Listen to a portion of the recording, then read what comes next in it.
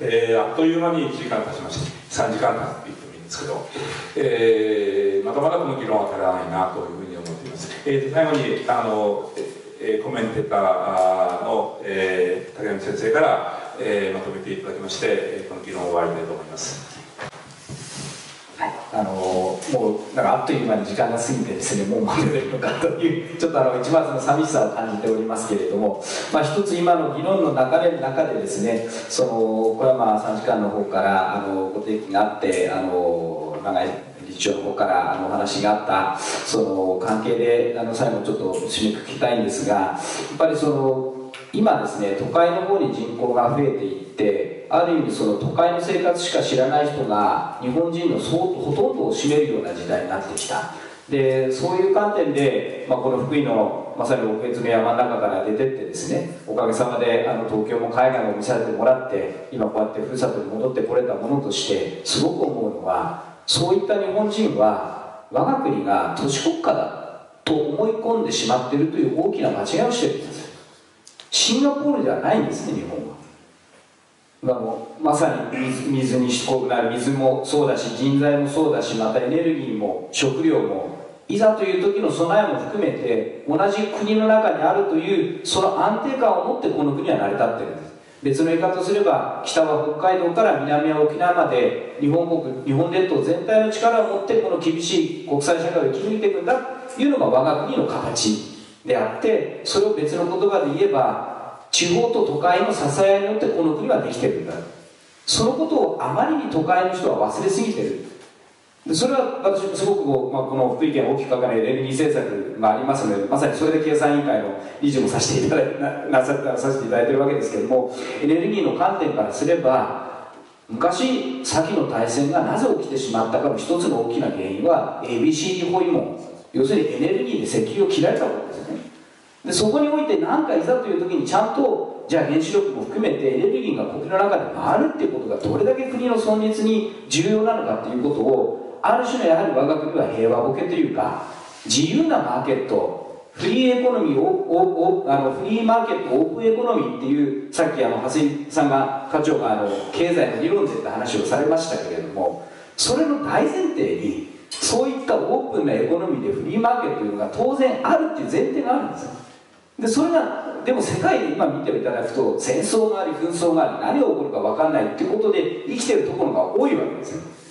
でこの国が今3.11も取り直したことがもしじゃあ今それが戦争じゃなくてもあのいつ起こるか分かんないとあの南海巨大トラフ地震というふうなことが起きたりした時に台風ベッド地帯がドカーンといったらどうやって国が生き延びるのか。そういう国土強靭化っていう視点も出てきた中ででましてや人口減少という大きなこの国の存立が関わってきてる中で地方においてきちんと世界に全国につながる拠点を作っていく。でそれは別にもちろんそのよくあるんですね。再分配都会からあの今都会地方の支えて申しました別に都会の人から見ると地方がくれくれって地方英語で物もらってるっていうふうに見えるかもしれないけどしっかり人材も輩出しエネルギーも供給し水も食料も出してるわ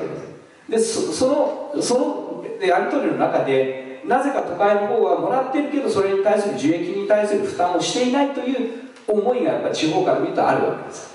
でそこの部分をちゃんとやり取りをするのがそれは政府の仕事であるしあの市場で全部クリアする話じゃない世界をまさに今町人仕事が要するに自然放置状態になったら日本の人口が減っていってしまう。生産人口も減っていってしまう。それを何とかするのが政府の力なんじゃないか。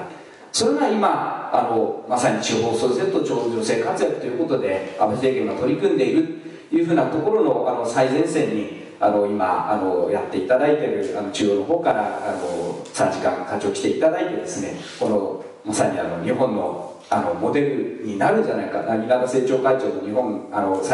日本福井化計画っていうのも言ってます。私もあのふるさとの福井からあ考える日本再生いうのをあのやってございます。あのそういったあある種のですね素晴らしいモデルをこの福井県持ってると思いますのでぜひそのあの雰囲気をですね感じ取っていただいてまた今後ともあの国とそして県と市とですねいい形でつながってあのふるさと福井そして我が国をあの日本をですねしっかりあの盛り上げていきたいなと思います。あのありがとうございました。ありがとうございました。あのまあ今日は短時間でしたけども大変いろいろ勉強していただきました、えー、これはあの先ほど言いましたように日本の仕組みを変える議論であります。し我々としては福井の生き方を、えー、今後の福井を考えるすごく大事な議論で決してあの国と県と市のお役所だけの議論ではダメだと思うんですよね。でまたマスコミさんでもちょっとぜひ取り上げていただいて、えー、広い議論で、えー、先ほど取り上げました福井はどう生きるんだというふうなことに、えー、回答を見つけていかないといけないと思います、えー、最後にあの東海の、えー、前の委員長の大森哲夫の方から、えー、お礼を申し上げまして、えー、終わりたいと思います、えー、皆さん、えー、皆さん長時間ありがとうございました、えー、そしてご参加いただいた方もですね長時間の議論にですねご参加いただきました。ありがとうございます、えー、最初寒いんでですね 心配をしたんですが、えー、暖房も後からちょっと入りまして、えー、本当に大変でございましたが、えー、実はマスターレポレポートが出てですね、えー、6月議会は、えー、県議会は大変なこの議論でございました。で私は、えー、町田 NPO を立ち上げた時に、えー、町の問題は田舎の問題でもあるし日本の問題だという認識は持っていたんですが、えー、街中の活性化を考えますとやっぱし農業産業全体がですね、えー、川下である街中の活性化につながっていくんだと。そんな思いを持ってましたが、えー、もうすると街の中のことをやると、えー、郊外を無視してるとかですね投資を中心ばっかりと、えー、いわゆる、えー、街がやっぱし稼げる街にならないえー、次の世代がやっぱ戻ってこれない、まあ、こういう問題をずっと言ってきました、えー、しかしながらですねどんどんどんどんやっぱり人口は、え、加速度的にですね、えー、福井も減っていくっていう現実を見ながらこのマスダレポートが出た時これがチャンスやと。やっと国も気づいてくれた。日本が地方がダメになると日本がダメになるってことを、え、気がついてくれた。これこそ福井のですね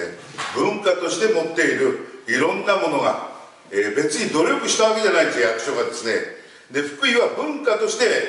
その子供を大事にしてですね、え、優秀な子供を作って、えー、頑張るやつとまた地方に残って地方で頑張るやつとがうまく連携してですねやってきた歴史とそういうものがございます。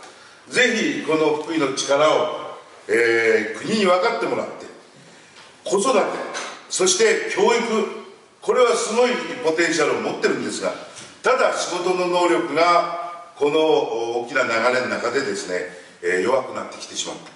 えー、ただ仕事を持ってくれば福井はまだまだやれるぞということでですね、えー、これをいわゆる今県市そして、え国のお力がこういうふうに出た時にですね民間の力も合わせてですね、え一丸となってやれればいいなとそんな思いをしました。しかしこれが県がやるとまた市町とどうかとか、えー、福井市だけでやったらまずいなとか、えー、市町他の市町と調整せなあかんとかですねいうことを考えてると遅くなってしまうなと、えー、実は8月26日にですね、えー、永井さんと、えー、滝波先生とですね一緒にちょうど滝波先生の先輩が財務省の先輩が、えー、内閣府にいらっしゃいまして、えー、ここへ行こうと。でそして福井へまず我々民間団体が呼んじゃおうと。呼んじゃって議論を始めようというようなことでですね仕掛けさせていただきました、えー、こういう形で、えー、ささやかでございますがスタートを切れたというふうに思います。ぜひですねこの議論がそして、えー、明日の行動に結びつかないといけないとこう思います、えー、今日、えー、福井銀行の先ほどお帰りになったんですが井上常務もいらしてまして、えー、いわゆるえー、地域ハンドみたいなものもですね県市と一緒になってやっぱり作っていかないかと。民間の儲かってるお金もですねそういう福井の再生産に向けてですね使えるような仕組みを作らなきゃ、えー、ぜひこういう深山さんぜひですねそういう福井の思いを、えー、地方に伝えていただいてですね滝波先生の議論もですねああ選んでよかったなというふうに私も思いました。ぜひですね、えー、そういう意味で福井が力になるようにそして、えー、福井の力を国政に生かすっていうかですねそういう意味では陣容が整ってるんです、えー、自民党の、えー、政調会長も稲先生ですし、えー、今若手の、えー、滝波先生がいらっしゃいますし、えー、まああの大臣にもですね山谷先生もいらっしゃいます。こういう中でぜひとも福井の再生日本の再生が始まることを、え、記念してですね明日の行動もみんなでそれぞれの立場で始めることを、えー、お誓いしながらですね、えー、終わりにさせていただきます。本当にありがとうございました。